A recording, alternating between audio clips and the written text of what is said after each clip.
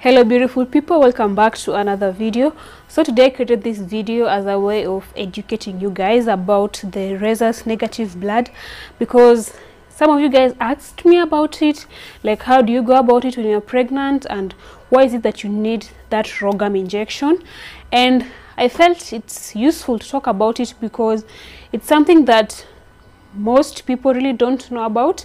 They only realize about it after they maybe miscarried several times. Like just to give you uh, a few stories.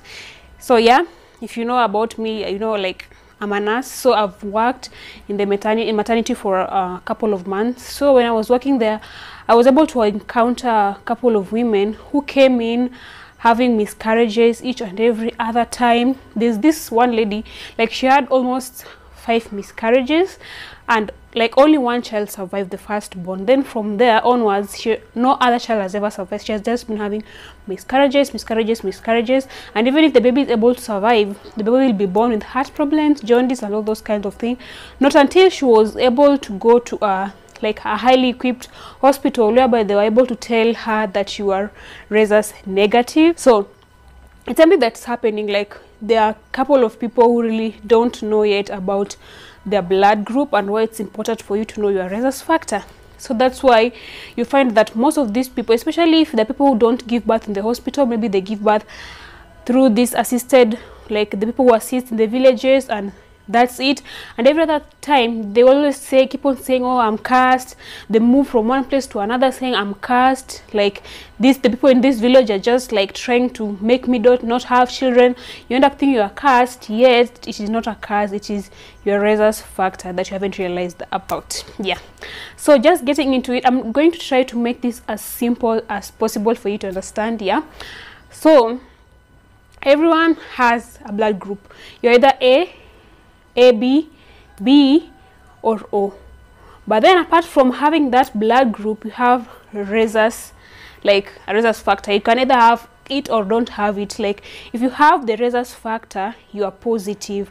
And if you don't have the rhesus factor, you are negative. So if you are positive, like, like O positive, AB positive, A positive. But then if you are negative, like me, I'm O negative. So that means I don't have the rhesus factor in my red blood cells if you're getting it. So from there like you might wonder like how does someone get to be O negative? And how is it like how is it that I get to be O negative and someone else gets to be O positive or AB positive? So the thing is it is like can I say kind of genetic? Because you can you can like get this blood group like this rhesus thing if it is kind of in your family. Like for me I tried to look into it with my family. So what happened is that I think because my grandparents like the other side like my grandfather is not there. So i just tried to figure this out. So i think maybe like my grandfather was a carrier. You can be a carrier a carrier is someone who has a certain component in their body but it is not showing. Like they have the rhesus negative genetic in their blood but then when you like when you test their blood they are rhesus positive. So they are just carriers. So if one of them like i just figured out that maybe one of them was a carrier then my aunt is rhesus negative.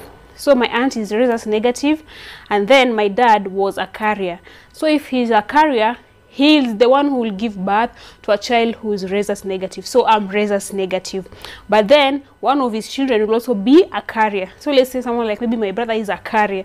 So because he's a carrier he'll be the one to give birth to a rhesus negative child but then also a carrier. Like are you seeing the way the cycle goes there? That is just kind of how i research and figure it out. So yeah when you have rhesus negative so how does this end up affecting your pregnancy? Now let's come to the part where it affects your pregnancy. So the thing is someone who was o positive i like using o o positive and o negative. Like the fact that you have rhesus factor and this other person does not have your blood cannot mix. Like your blood cannot mix. So what happens is that when you are pregnant and you have rhesus negative and you are pregnant and let's say the person you got uh, you engaged with like let's say your husband or something uh, has O positive or has a, like the rhesus factor. So that means most likely the child you are going to have most likely the child might take the rhesus uh, the blood group from the dad and maybe the child now is positive rhesus factor. So you get me positive. So you're having a positive baby and yet you yourself you are rhesus negative.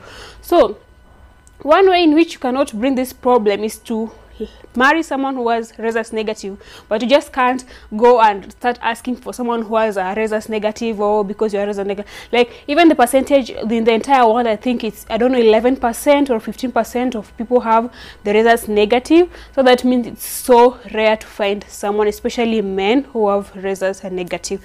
So most likely the person you're going to get married to if you're rhesus negative most likely they're going to be rhesus positive. So what happens is that when, when you're pregnant your baby is rhesus positive. Your blood the blood your blood and that of your baby might mix. Most of the time is during delivery because you have to deliver the placenta and so. But then other ways is maybe like let's say you have placenta abruption or there's a certain invasive procedure that has been done that has made your blood to mix. That will make your body to create antibodies. Antibodies because uh, your, your body will consider this as invaders as something that has invaded your body because it does not accept. So when your body like does not accept, accept something it forms antibodies. So your body is going to form antibodies against those like when your blood and your baby has mixed if you're getting what i'm saying. So if it is um, an emergency like placenta abruption or an invasive procedure you have to get that RhoGAM injection immediately. But then the other times there are uh, like the, during the other times when maybe there is no problem you can just have it during 28 weeks and within 20 72 hours that is after delivery. Okay so what happens is you like the baby has been delivered blood has mixed mother has formed antibodies and the antibodies stay in the body for like even a year like more than a year like the longest time. The antibodies will just stay in your body. So whenever you're pregnant let's say you're pregnant let's say after two years with your second baby remember the placenta allows you to pass antibodies to the to the baby that is. So when you're pregnant with your second baby remember those antibodies that were created when you're pregnant with your first baby that like during the blood mixing during delivery those antibodies were created. These antibodies will pass and go to the baby and then they lead to destruction of red blood cells in the baby's body. And this is what will make the baby be like have anemia jaundice born be, born with heart failure liver failure so such kind of things. And that is why like you find a really big percentage of these babies even don't usually survive. So what do we do to prevent this? The first thing make sure you know your blood group and you know your rhesus. Like if you are maybe in a facility that is not able to like you're not able to know your blood group in maybe it's somewhere interior interior like if you really can make sure especially if you had let's say you had a miscarriage in your second pregnancy you had a miscarriage in your third pregnancy then I think you should make sure you consider checking your blood group. Just go to a facility that has a laboratory, then you can check your blood group. And also you can do, uh, you can confirm this, there's something called DU test. So when I talked about the DU test in that video, that's when people ask me like, so like, why should I do a DU test? Is it really important to do a DU test?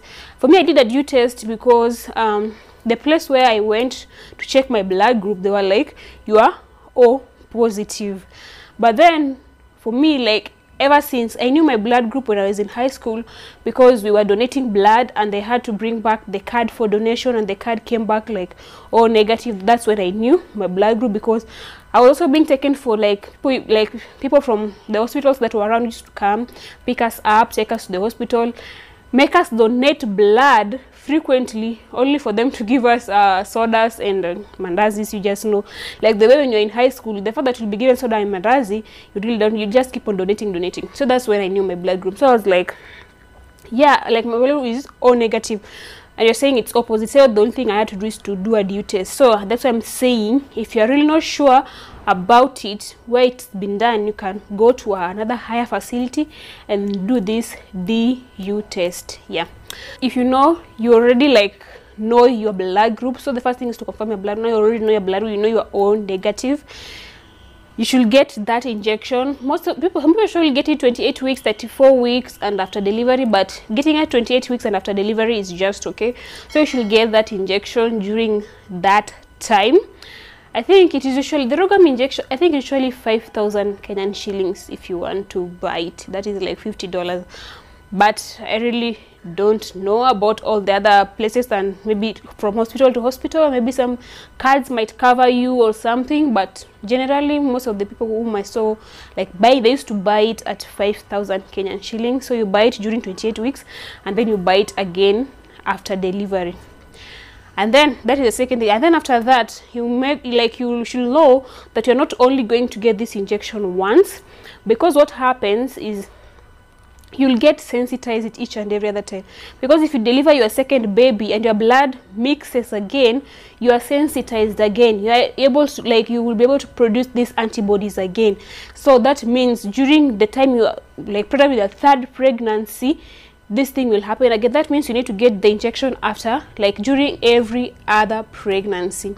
But it's also better like if you like don't uh you minimize the like I, I, I don't want to tell you that oh have five kids or have three kids but you minimize at least reduce the number like you're getting me yeah. So i really hope i helped someone out with that video and yeah thank you for watching this video and see you on my next one. Bye bye